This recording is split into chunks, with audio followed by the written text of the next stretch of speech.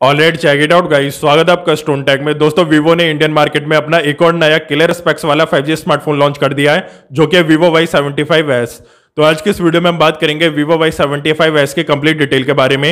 ये mobile India में कब लॉन्च होगा, किस प्राइस पॉइंट पर लॉन्च होगा, क्या इसके फीचर्स होंगे? और सबसे इंपॉर्टेंट क्या आपको ये मोबाइल लेना चाहिए या फिर नहीं? सारी चीज़ों के बारे में डिस्कस करेंगे, लेकिन उससे पहले अगर आप चैनल पर नए तो चैनल को ज़रूर सब्सक्राइब करना। अगर आपको वीडियो अच्छी लगे तो वीडियो को लाइक भी कर देना। तो चलिए, सबसे पहले बात करते हैं इस मोबाइल के डिस्प्ले के बारे में, जिसमें 6.58 इंचेस की एक आईपीएस एलसीडी डिस्प्ले आपको देखने को मिलेगी।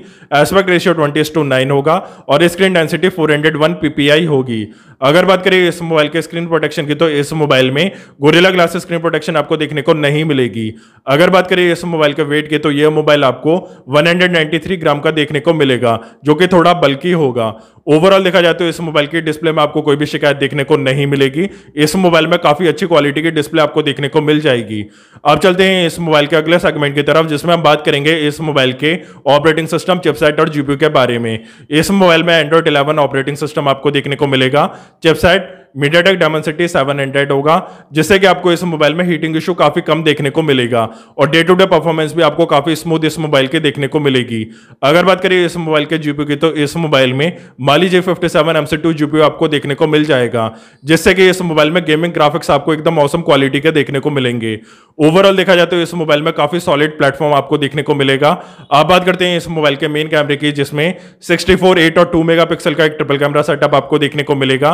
कैमरा फीचर में इस मोबाइल में एचडीआर का फीचर भी होगा।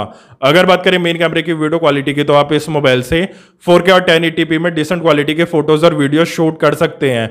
अगर बात करें सेल्फी कैमरे की तो इस मोबाइल में 8 मेगापिक्सल का एक फ्रंट कैमरा आपको देखने को मिलेगा और फ्रंट कैमरे की वीडियो क्वालिटी 1080p होगी। ओवरऑल देखा जाए तो इस मोबाइल में काफ़ी अच्छी क्वालिटी का कैमरा सेगमेंट आपको देखने को मिल जाएगा। अब चलते हैं इस मोबाइल के अगले सेगमेंट की तरफ़, जिसमें हम बात करेंगे इस मोबाइल की मेमोरी के बारे में। सबसे पहले बात करते हैं इस मोबाइल के कार्ड स्लॉट की तो इस मोबाइल में माइक्रो एच कार्ड स्लॉट आपको देखने को मिलेगा। इंटरनल मेमोरी टू हंड्रेड होगी। अगर बात करें इस मोबाइल के रैम की तो यह मोबाइल आपको आठ जीबी और बारह जीबी के वेरियंट में देखने को मिल जाएगा। अगर बात करें साउंड क्वालिटी की तो इस मोबाइल में एडिशन क्वालिटी का आपको लाउड स्पीकर देखने को मिलेगा और 3.5 पॉइंट mm जैक का फीचर भी इस मोबाइल में होगा। अगर बात करें फिंगरप्रिंट सेंसर की तो इस मोबाइल में वीवो के हर मोबाइल की तरह फिंगरप्रिंट सेंसर आपको साइड माउंटेड देखने को मिलेगा।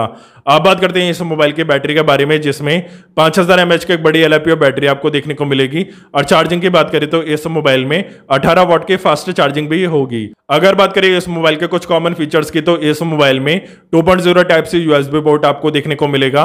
और इंफ्रारेड पोर्ट और एनएफसी का फीचर इस मोबाइल में नहीं होगा। अब चलते हैं इस मोबाइल के सबसे इंपॉर्टेंट सेगमेंट की तरफ़, जिसमें हम बात करेंगे इस मोबाइल के कलर प्राइस और रिलीज़ डेट की। सबसे पहले बात करते हैं इस मोबाइल के कलर की तो यह मोबाइल आपको ब्लैक और ग्रेडियंट कलर में देखने को मिलेगा। इंडिया में इस मोबाइल का प्राइस इक्कीस होगा। अगर बात करें इस मोबाइल के रिलीज़ डेट की तो यह मोबाइल 30 दिसंबर को रिलीज़ हो जाएगा। ओवरऑल देखा जाए तो वीवो की तरफ़ से काफ़ी अच्छे फीचर आपको इस मोबाइल में देखने को मिल जाएँगे। अगर आपका बजट बाईस हज़ार के आसपास है तो आप ये मोबाइल ले सकते हैं। अब सबसे आखिर में बारी आती है इस मोबाइल की रेटिंग की। तो इस मोबाइल के सारे फीचरों को देखते हुए इस मोबाइल की स्टोन रेटिंग होगी सिक्स आउट ऑफ़ टेन अगर आपको वीडियो अच्छा लगा तो वीडियो को लाइक शेयर ज़रूर करना और चैनल को सब्सक्राइब करके बेल नोटिफिकेशन को भी ऑन कर लेना और कमेंट करके बताना इस मोबाइल का सबसे अच्छा फीचर आपको कौन सा लगा। तब तक के लिए इतना ही। मिलते हैं अगले वीडियो में।